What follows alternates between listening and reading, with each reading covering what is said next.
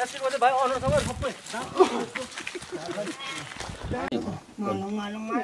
बिस्तारै बिस्तारै होइन हात हात छोडिदिन्छु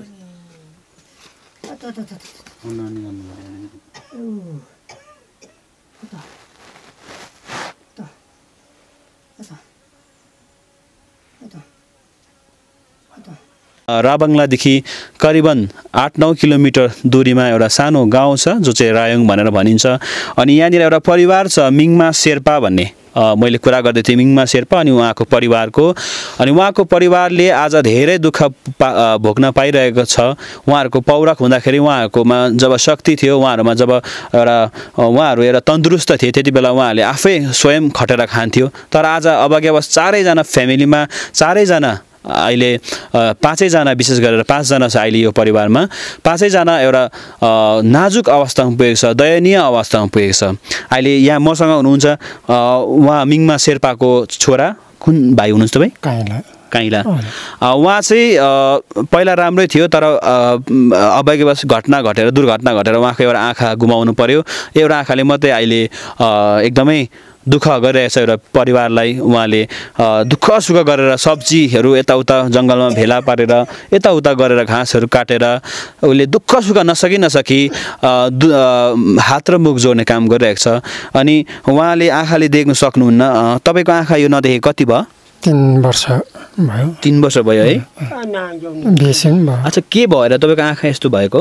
पहिला त्यो कुखुराको एउटा खोर बनाउँदा चाहिँ उछेटार लाग्यो अच्छा। अहिले आमा पनि बिमार छ बाबा पनि बिमार छ त्यहाँदेखि दाजु पनि बिमार छ तपाईँ आफै पनि आँखाले देख्नुहुन्न होइन? अ, कसरी तपाईँहरूले यो सर्भाइभ गर्दै हुनुहुन्छ? कसरी यो तपाईँहरूले खाना खाँदैछ? कसरी यो दबाई पानी लिँदैछ? कसरी गर्दैछ? त्यही सब्जीहरू त। पुग्छ अन्त? त्यही पुग्न त पुग्दैछ। पुगेको छैन नि है? अरू चाहिँ यहाँनिर के के गर्नुहुन्छ? यो बाहेक चाहिँ तपाईँहरूले खेतीपाती बाहेक आलु रोप्छु मुलाहरू साग। तपाईँ एक्लै होला नि काम गर्ने त? हजुर। आमाहरूले पहिला बल भइन्छ त सक्थ्यो? बल हुँदा त सब्जीहरू बेच्थ्यो बजार लान्थ्यो रावङलाई अच्छा आमाले चाहिँ सब्जीहरू बेच्थ्यो तपाईँले चाहिँ यताउता खेतीपाती गर्थ्यो? हजुर। अहिले चाहिँ गाह्रो परिरहेछ। आमाले बिमार भेटेको चाहिँ कति भयो ट्युबरक्लाइसिस टिबी भेटेको रहेछ होइन? टिभी भेटेको त झनै चार वर्ष जस्तो पो है? अहिले त एकदमै साह्रो छ उहाँलाई चाहिँ। अच्छा दाजु त्यहाँनिर भित्र बेडमा लडेको कति वर्ष भयो? तिन वर्ष। तिन वर्ष प्यारालाइज केही केही गर्नु सक्नुहुन्न? सक्दैन अहिले अच्छा कस्तो कस्तो खानाहरू उहाँले खानुहुन्छ? खाना त त्यही कम्ती कम्ती खान्छ अच्छा उहाँको झाडा पिसाबहरू चाहिँ तपाईँले सोध्नुपर्छ हजुर अ, उहाँ हुनुहुन्छ साइला छोरा नि तपाईँ? काइला। काइला। छोरा हुनुहुन्थ्यो र उहाँले पनि अभाग्यवश अचानक दुर्घटना परेर उहाँले आँखा गुमाए त्यस पश्चात अब एउटा आँखाले नै उहाँले अहिले संसार हेरेर काम गरिरहेको अवस्था छ। उहाँ चाहिँ हुनुहुन्छ आमा। तपाईँको नाम के हो? कान सुन्नुहुन्न?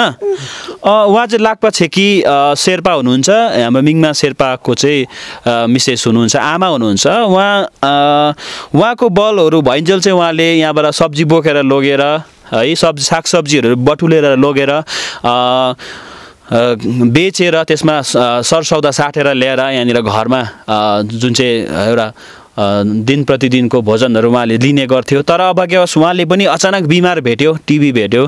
टिबी भेटेर अहिले एकदमै सुतिरहेको अवस्थामा थियो तर अहिले हामीले यहाँनिर यहाँ यहाँ दर्शकहरूलाई अब उहाँको अवस्थाबारे परिचित गराउँ भनेर हामीले यसरी ल्याएका छौँ।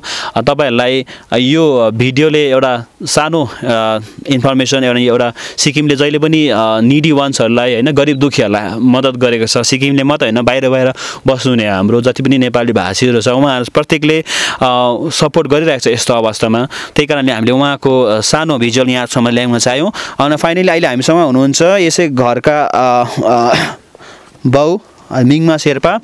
यहाँलाई सानो थप जानकारी गराउन चाहन्छु कि उहाँ मिङमा शेर्पा चाहिँ इन्डियाकै सिक्किमकै राइथाने हुनुहुन्छ। उहाँकोमा आधार कार्ड छ। उहाँकोमा उहाँले आरसी रेसिडेन्टल सर्टिफिकेट पनि धेरै वर्ष अगाडि बनाउनु भएको रहेछ।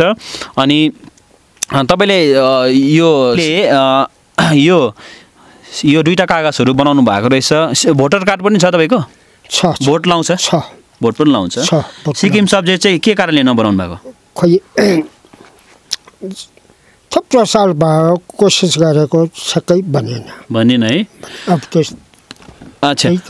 मैले जानकारी पाए मुताबिक उहाँहरूले पहिला जुन हाम्रो राज्य देश एउटा भारतमा विलय भयो त्यस पश्चात पचहत्तर साल अ, देखि अगाडिको कागजपत्रहरू सि सिक्किम सब्जेक्ट बनाउनको निम्ति खोज्थ्यो जस्तै धुरी खजाना तिरेकोहरू बिजुली बिल पुरानो पुरानोहरू चाहिन्थ्यो। तर हाम्रो मान्छे त्यो त्यो कुरामा सचेत नभएको कारणले गर्दाखेरि उनीहरूले राखेनन् अनि कतिजनाको छैन अहिले सिक्किम सब्जेक्ट। तर उहाँहरू चाहिँ यहाँनिर दुई तिन पुस्ता बितिसकेको हो। र यो सरकार समक्ष पनि यो सानो बिन्ती चढाउन चाहन्छु। तपाईँको उयो छ? ओल्ड एज पेन्सन छ? छैन। छैन है? छैन। अच्छा तपाईँले अर्जी चढाएको छैन पञ्चायतहरूलाई? जति खेप बन्यो अहिले आमाको पनि छैन? छैन? अच्छा कति उमेर पुग्नुभयो? उमेर त अब सत्तरी पुग्यो भन्दा पनि। सत्तरी। तपाईँ चाहिँ के बिमारी हुनुहुन्छ अहिले? म अहिले खोइ अलिक बिमारै छ केही काम गर्नु सक्दैन? सक्दैन। सक्दैन है? अलिक दाम बढ्छ खोक्छ। अहिले यो तपाईँहरूको परिवार चलाउनु साह्रो पर्छ? साह्रो पर्छ। कोही टाइममा साह्रो पर्छ है? कोही टाइममा साह्रो पर्छ। यता आमाले दबाई पानी कहाँबाट खाँदैछ? नाम्ची पहिले गान्तोक अस्पताल पुऱ्यायो। गान्तोक अस्पतालमा चाहिँ टिबीको बिमार भएन? भएर अहिले टिबीको दबाई खाँदैछु। टिबीको दबाई खाँदैछ? खाँदैछु। कोही काम गर्ने अवस्थामा छैन? छैन। यो थियो उहाँहरूको सानो ग्राउन्ड रियालिटी अनि हामी ले यो धेरै अगाडि सुनेका थियौँ तर हामी यहाँनिर आउन पाइरहेका थिएनौँ। आज फाइनली हामी आयौँ अनि हाम्रो साथीहरू यहाँ तपाईँले देखिरहनु भएको छ। हामीले सल्लाह गऱ्यौँ अनि मैले बिहान फोन गरेँ उहाँहरूलाई हामी जाउँ हाम्रो यस्तो यस्तो भएको छ भनेर। त्यहाँदेखि सबै हामी तत्काल जागरुक भएर हामी सबैजना मिलेर उहाँहरूलाई एक दुई महिना पुग्ने सरसामान र केही नगद हामीले दिएका छौँ। अनि हामी विशेष गरेर कन्सर्न प पञ्चायतहरूसँग हामी बात मार्नेछौँ तर माथिल्लो लेभलबाट पनि उहाँहरूकोमा तपाईँको आइडेन्टिटी कार्ड पनि छ उहाँहरूकोमा आरसी पनि छ उहाँहरूकोमा आधार कार्ड पनि छ। अनि उहाँ सत्तरी नागिसकेको छ उहाँ आमा कति वर्ष भएको? आमा पनि सत्तरी छेउछेउै पुग्यो आमा पनि सत्तरी छेउछेउ पुगेको छ। अनि दुईजनाको ओल्ड एज पेन्सन जुन चाहिँ एउटा अधिकारले पाउनुपर्ने हो अहिलेसम्म पाएको छैन। यदि त्यो मात्रै पनि पायो भने अलिकति भए पनि उहाँलाई सहयोग मिल्थ्यो यो अवस्थामा।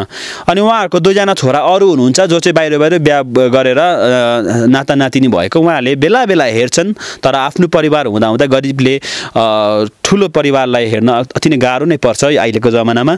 सो हामीले उहाँहरूको निम्ति एउटा सानो उदाहरण स्वरूप अ, हामीले यसरी किन देखाउन चाह्यौँ भनेदेखि हामी प्रत्येकले उहाँहरू जस्तो व्यक्तिलाई सहयोग गर्दै आइरहेको छ अनि भविष्यमा पनि गर्नेछ र उहाँहरूलाई पनि तपाईँले गर्नुहुन्छ भनेर हामीलाई ठुलो विश्वास छ। अनि तपाईँको ब्याङ्क अकाउन्ट छ?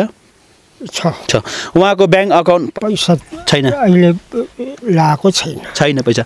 अच्छा उहाँको पैसा छैन एकाउन्ट जिरो ब्यालेन्स छ अनि उहाँहरूले अब यताउता गर्नुपर्ने अवस्था छ। तपाईँले छोराहरू देखिहाल्नु भयो दुईजनै छोरा त्यस्तो अवस्थामा छ। आमा एकदमै टिभी टिभर क्लासेस लागेर यो घरमा काम गर्ने अवस्थै छैन कसले पनि सक्दैन। एकजना छोराले एउटा आँखाले क दुःख सुख गरेर मरेर मरेर छाक टार्दैछ। सो यो अवस्थामा तपाईँ हाम्रो सहयोगको अति नै जरुरी छ जस्तो हामीलाई लाग्छ। अनि त्यही कारणले गर्दाखेरि हामी यहाँलाई उहाँको यो ब्याङ्क डिटेल्स एकाउन्ट नम्बरहरू हामी तपाईँलाई हालिदिनेछौँ तपाईँहरूले यदि पैसा हालिदिनु भयो भने अति नै राम्रो हुनेछ। तपाईँहरू जहाँ जहाँ हुनुहुन्छ जो जो हुनुहुन्छ या छ मानवताको निम्ति तपाईँहरूले प्रत्येकले यस यो कुरामा सहयोगी हातहरू बढाउनुहुन्छ भन्ने हामीलाई विश्वास छ। अनि यही नै हो एउटा धर्म गर्ने एउटा कर्म कमाउने काम। मान्छेले नदेखेको ईश्वर नदेखेको भगवान्को निम्ति त कति कति श्रद्धासहित उहाँहरूले एउटा दान गर्छन् भनेदेखिलाई आज मानवताको निम्ति यो गर्छ भने एउटा ठुलो विश्वास हामीले राखेको छौँ। र विशेष गरेर हामीले यो दक्षिण सिक्किमको यो बर्फुङ कन्स्टिट्युन्सीमा पर्ने यो सानो परिवारको दुःखलाई यहाँ समक्षमा पस्काएका छौँ।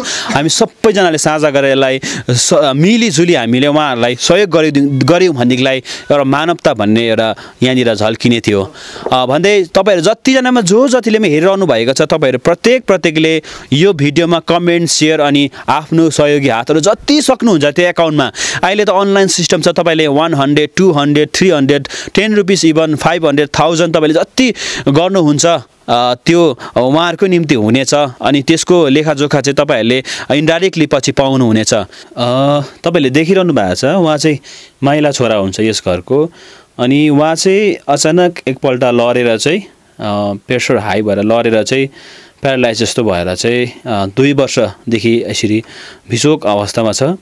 अनि हामीले देखेका थियौँ सामाजिक सञ्जालमा कि जुन चाहिँ सिचेको एउटा खोला थियो त्यहाँनिर खोल्चा थियो त्यहाँनिर लडेको भनेर उहाँ नै हुनुहुन्थ्यो त्यो व्यक्ति। उहाँ योभन्दा अगाडि चाहिँ उहाँले एकदमै उहाँ उहाँको हातमा चाहिँ सिप थियो एउटा ठुलो कला थियो। उहाँले राम्रो राम्रो फर्निचरहरू बनाउन सक्नुहुन्थ्यो। तर अभाग्यवश उसको जीवनमा त्यो घटना घट्यो। त्यहाँदेखि उपरान्त उसले उहाँले चाहिँ यसरी आफ्नो जीवन बिताइरहेको छ र एकदमै नाजुक अवस्थामा छ। तपाईँले यहाँ हेर्नु सक्नुहुन्छ एकदमै कमजोर भएर गइरहेछ प्यारालाइज जस्तो भएको थियो। बादमा गएर उहाँले धेरै अरू रोगहरू पनि भेटाएछ जस्तो छ। पुरा पोल छ अनि पुरा कामदुम रहेछ अनि यसरी उहाँले आफ्नो खानाहरू पनि यसरी यहाँनिर यसरी राखिदिनु भएको छ तर उहाँले खानु खानु सक्ने अवस्थामा छैन। परिवारले दुःख सुख गरेर उहाँलाई यसरी हेरिरहेको छ। उहाँको नाम त के हो? उहाँको नाम चाहिँ फुर्वा शेर्पा हो। अ, तपाईँलाई हामीले यो सानो मैले बिहान आउँदा आउँदा मेरो साथीहरूलाई फोन गरेँ होइन। एक दुईजनालाई भेटेँ पनि। कतिजना त छ आउट अफ स्टेसन उहाँहरू त हुनुहुन्न रहेछ। मेरो साथीहरू पहिला मसँग स्कुल पढ्नेहरू एकजना यहाँ विनोद राई छ। विनोद राईले पनि केही अपिल गर्न चाहन्छ। उहाँको मुखबिन्द सुनौ के भन्न चाहनुहुन्छ? नमस्ते सबै सिक्किमे जनताहरूलाई।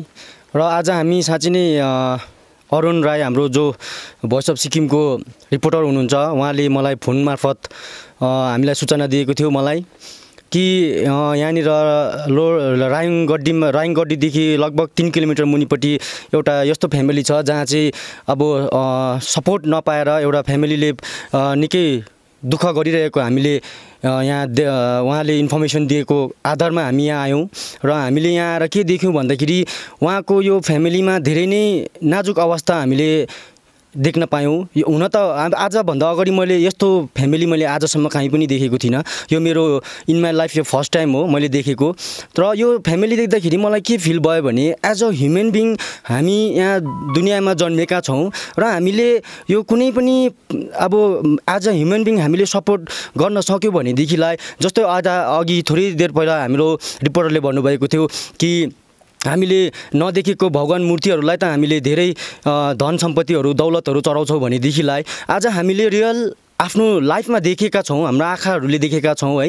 अन्त यहाँनिर हामी सबै मिलेर हामीले यहाँनिर दुई चार पैसा मिलाएर हामीले उहाँहरूलाई सपोर्ट गर्न पायौँ भने हाम्रो आउने दिनहरूलाई र हाम्रो मरिसकेर हाम्रो आत्मालाई पनि शान्ति पाउँछ भन्ने मैले आशा राखेको छु। र तपाईँहरूसँग पनि मैले के आशा राखेको छु भन्दाखेरि तपाईँहरूले यो भिडियो मार्फत तपाईँहरूले भोलिको दिनमा कसैले तपाईँहरूले सहयोग गर्न चाहनुहुन्छ भने जस्तै रिपोर्टर हाम्रो सुकराजले भन्नुभएको छ कि उहाँले सबै डिटेल्स दिएर राख्नु भयो राख्छ राख्छ भनेर र त्यो डिटेल्समा तपाईँहरूले सहयोग गर्नुभयो भने हामी धेरै अगाडि हुनेछौँ। धन्यवाद। यहाँबाट अहिले बिदा हुन चाहन्छौँ। यो कुरामा तपाईँले आफ्नो प्रतिक्रिया राखिदिने सेयर चाहिँ अवश्य पनि गरिदिने भन्दै मेरो सहयोगी सुरज लिम्बूको साथमा मेरन राई सुकराज राई अनि मेरो यो जति पनि साथीहरू छ यहाँबाट बिदा लिन चाहन्छौँ।